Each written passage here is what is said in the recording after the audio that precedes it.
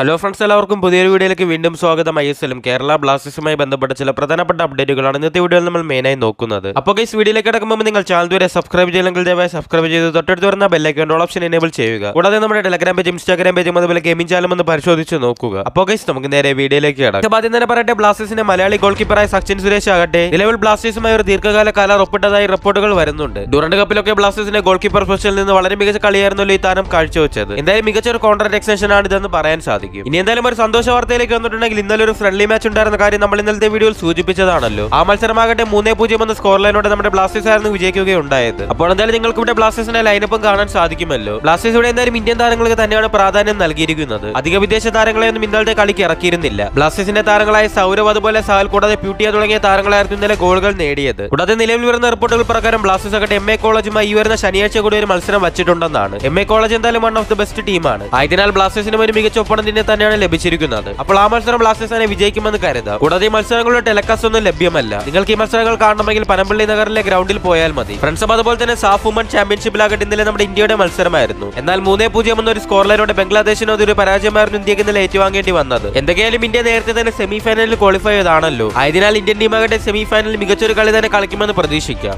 ഇനി എന്തായാലും north east യുണൈറ്റഡുമായി ബന്ധപ്പെട്ട അപ്ഡേറ്റ് നോക്കിയിട്ടുണ്ടെങ്കിൽ ഇതുവരെയും അവർ താരങ്ങളെല്ലാം അനൗൺസ് ചെയ്ത് കഴിഞ്ഞില്ലല്ലോ. അപ്പോൾ എന്തായാലും മാർക്കസ് ഇന്നലെ പറഞ്ഞ പ്രകാരം അവരാകട്ടെ എല്ലാ താരങ്ങളുടെയും സൈനിങ് പൂർത്തിയാക്കി എന്നാണ്. ആയതിനാൽ ഇനി നോർത്ത് ഈസ്റ്റ് യുണൈറ്റഡിന്റെ വിദേശ സൈനികൾ യാതൊരു വ്യാപലാതിയും വേണ്ട. ഇനി അവസാനമായി എ ടി കെ മോഹൻ ബഗാനുമായി ബന്ധപ്പെട്ട അപ്ഡേറ്റ് കൂടെ ഞാൻ സൂചിപ്പിക്കുകയാണ്. എ ടി കെയുടെ നിലവിലെ ഫോം നോക്കിയിട്ടുണ്ടെങ്കിൽ വളരെ മോശം പ്രകടനമായിരുന്നു കാഴ്ചവെക്കുന്നതെന്ന് പറയാമല്ലോ. അതായത് ഡുറണ്ട് കപ്പിൽ നിന്നും കൂടാതെ ഏഷ്യ കപ്പിൽ നിന്ന് അവർ പുറത്തായതാണ്. എന്തായാലും മാർക്കസ് നില പറഞ്ഞ പ്രകാരം അവരാകട്ടെ അവരുടെ കോച്ചിനെ ഇപ്പോൾ നിലനിർത്തുമെന്നാണ്. ജുവാൻ ഫറോണ്ടോയുടെ മേൽ മോഹൻ ബഗാൻ വിശ്വാസം അർപ്പിക്കുന്നു എന്നാണ് മാർക്കസ് നില പറഞ്ഞത്. ഇനി എന്തായാലും ഐ എസ് എൽ അവർ മികച്ച കളി കളിക്കുമോ എന്ന കാര്യം കണ്ടു തന്നെ അറിയാം. ഫ്രണ്ട്സ് അതുപോലെ തന്നെ നിങ്ങൾ ഇതുവരെ നമ്മുടെ ടെലഗ്രാം പേജിലേക്ക് ജോയിൻ ചെയ്തിട്ടില്ലെങ്കിൽ മാക്സിമം എല്ലാവരും ഒന്ന് ജോയിൻ ചെയ്യാൻ ശ്രമിക്കുക. ഇതിന് അടുത്ത മാസം ഐ എസ് എല്ലൊക്കെ തുടങ്ങുകയാണല്ലോ. നിങ്ങൾക്ക് ഐ എസ് എൽ മത്സരങ്ങളെല്ലാം ലൈവായി ഫ്രീ അതുപോലെ മലയാളം കമന്റോടൊപ്പം യൂട്യൂബിൽ തന്നെ കാണാൻ സാധിക്കുന്ന ലിങ്കുകൾ നമ്മുടെ ടെലഗ്രാം പേജിൽ ഇടാറുണ്ട്. ഇതിലൊക്കെ പുറമെ തന്നെ നിരവധി ബ്ലാസ്റ്റ് സ്റ്റാറ്റസ് വീഡിയോകളും അതുപോലെ ഐ എസ് എല്ലുമായി ബന്ധപ്പെട്ട പ്രധാനപ്പെട്ട വാർത്തകൾ നമ്മൾ അവിടെ അപ്ഡേറ്റ് ചെയ്യാറുണ്ട്. അപ്പോൾ ഡിസ്ക്രിപ്ഷനിലെ ലിങ്ക് വഴി മാക്സിമം എല്ലാവരും ഒന്ന് ജോയിൻ ചെയ്യാൻ ശ്രമിക്കുക. ഗൈസ് എന്തായാലും ഇത്തരം കാര്യങ്ങൾ സൂചിപ്പിച്ചിട്ടുണ്ട് വീഡിയോസ് ആരംഭിക്കുന്നു. വീഡിയോ ഇഷ്ടപ്പെടുന്ന കരുതുന്നു. ഇഷ്ടപ്പെടാൻ ലൈക്ക് ചെയ്യാനും ഷെയർ ചെയ്യാനും അതുപോലെ ചാനൽ വരെ സബ്സ്ക്രൈബ് ചെയ്യണമെങ്കിൽ ദയവായി സബ്സ്ക്രൈബ് ചെയ്യാനും മറന്നു പോകരുത്. അപ്പോൾ ഗൈസ് താങ്ക്സ് ഫോർ വാച്ചിങ്